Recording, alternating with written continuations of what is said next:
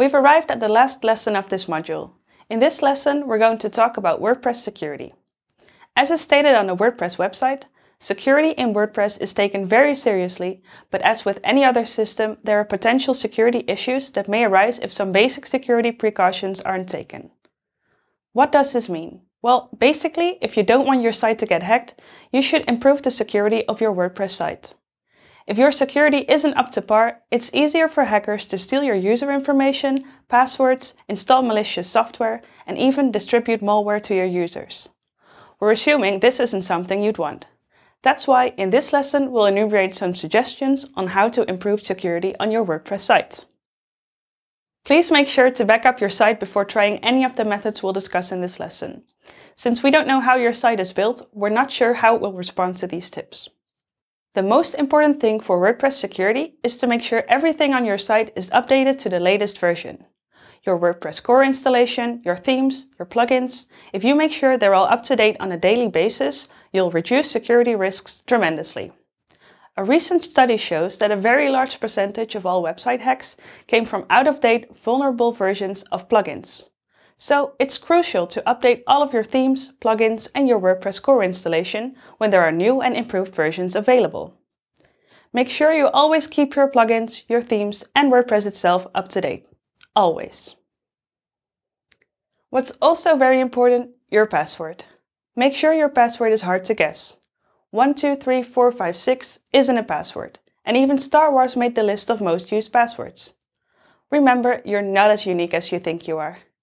An easy thing to remember is make sure your password is CLU, complex, long and unique. But even then, coming up with a difficult password usually just isn't enough.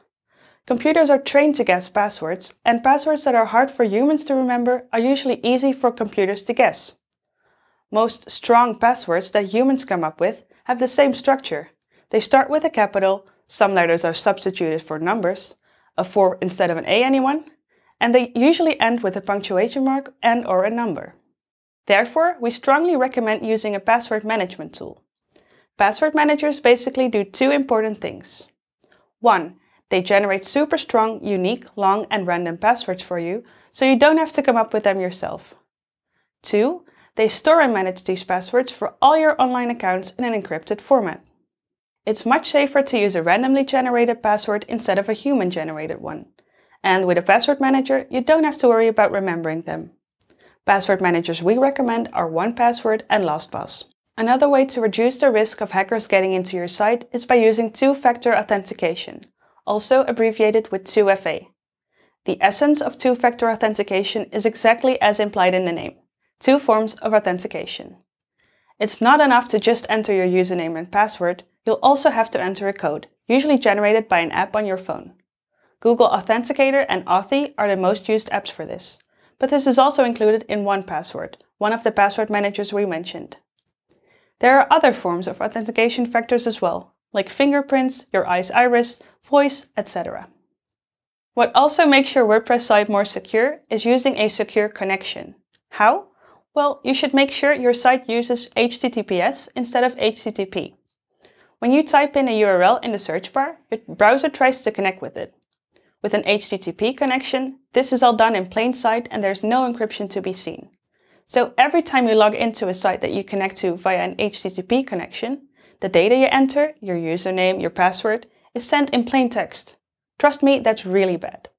HTTPS secures this process. It encrypts the connection between the browser and the site, therefore making sure that no one can intercept the data sent between those two.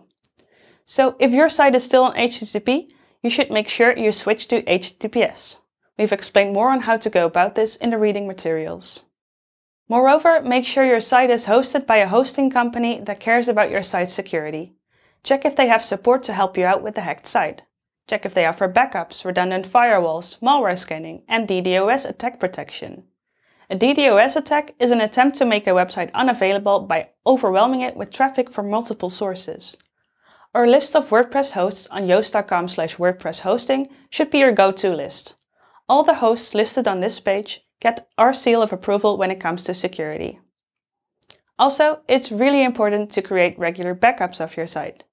Then, in the unfortunate event that your site gets hacked, you will at least have the data so you can quickly restore your site. And again, we really can't stress this enough, make sure you keep everything on your site up to date. Okay, time to wrap things up. In this lesson, we've listed the most important and basic tips for improving security on your WordPress site. Please be aware that this is not a complete list. There are a lot more things you could do to improve your site's security. We've listed more tips in the reading materials, as well as links to useful sites and articles about WordPress security.